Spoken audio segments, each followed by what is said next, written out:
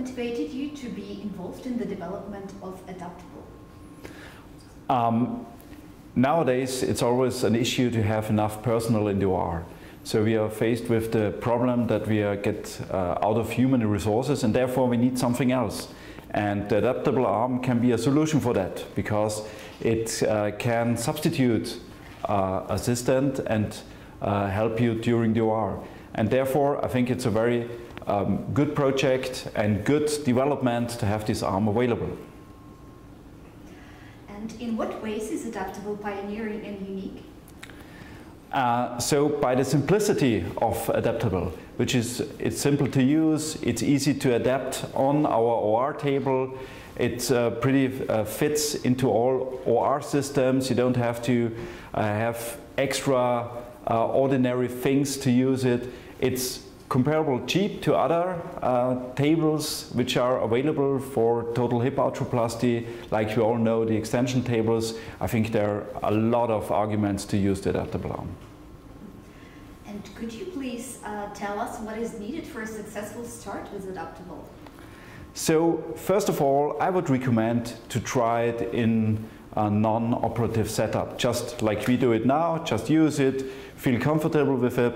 Then the next step is uh, visit somebody who uses it in daily practice.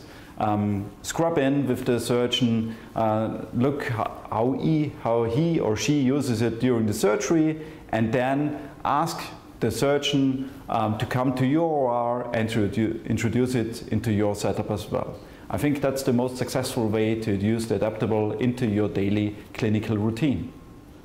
So does it require a lot of training or a change of working method, OP technique?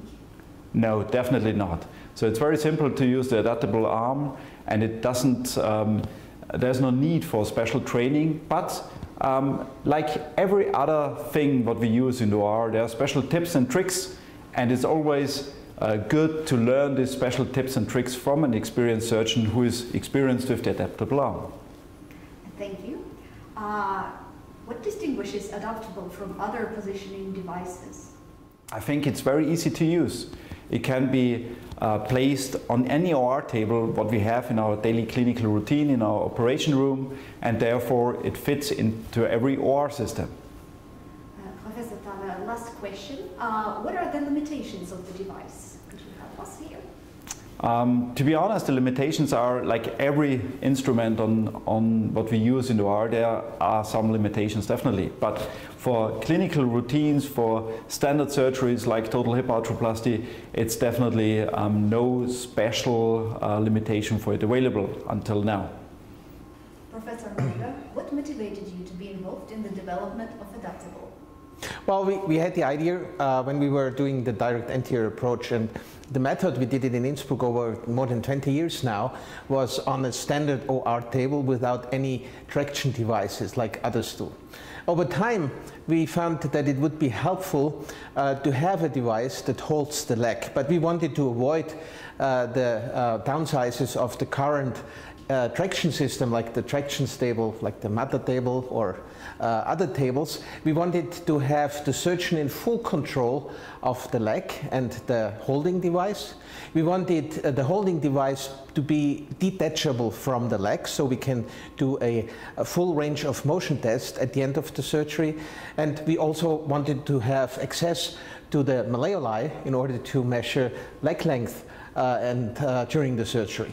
So we wanted to have an on-table device under the full control of the surgeon uh, to have the leg in any uh, part of the surgery in the desired position. And this is how uh, the adaptable came into the world uh, as a support for DA. Of course, over the time, uh, additionally, we found out that it is replacing personnel, which is becoming more and more uh, important, specifically after the pandemic. And of course, it can be used for other surgeries like knee arthroplasty or any other type of hip surgery.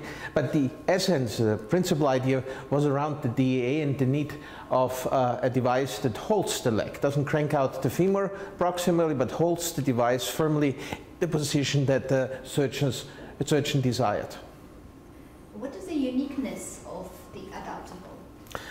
Well, as I said, what we wanted we also achieved it. We have a device now that is on the table. It is sterilely draped, so I, as a surgeon, control the force that is brought to the leg. I control any position. I can detach it at any time. So I think this is really unique that you have a surgical tool for the surgeon. You don't need extra personnel to run it.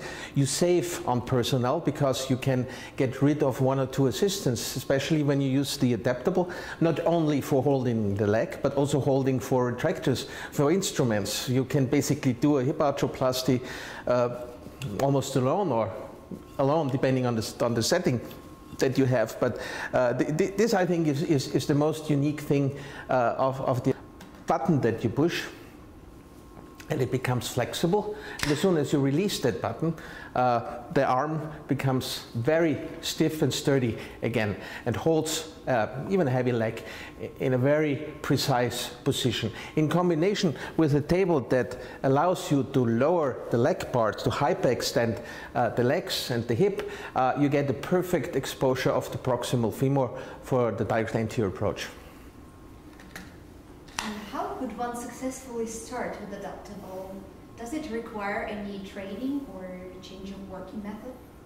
Well, I think the good thing about it is it's not rocket science.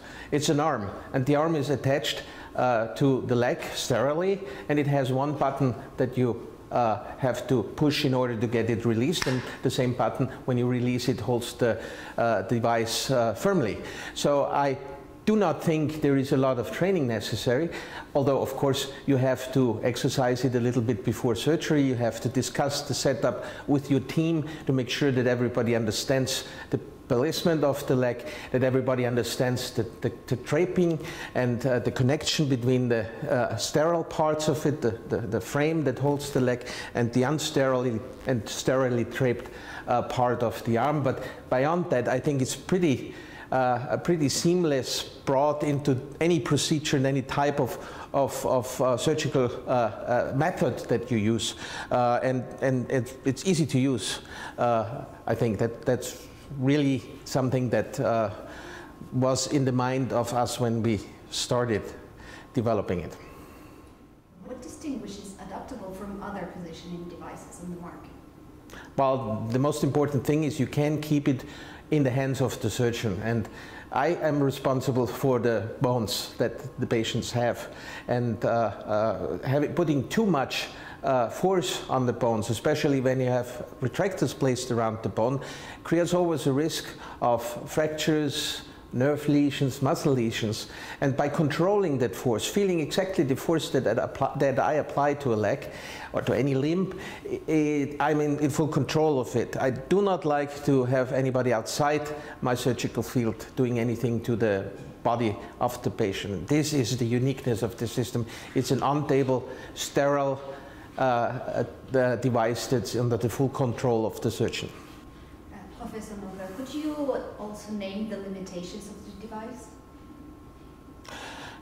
No, I cannot. Well, it can't cook coffee. That, that's the only thing. Otherwise, you can really use it for any kind of limb surgery.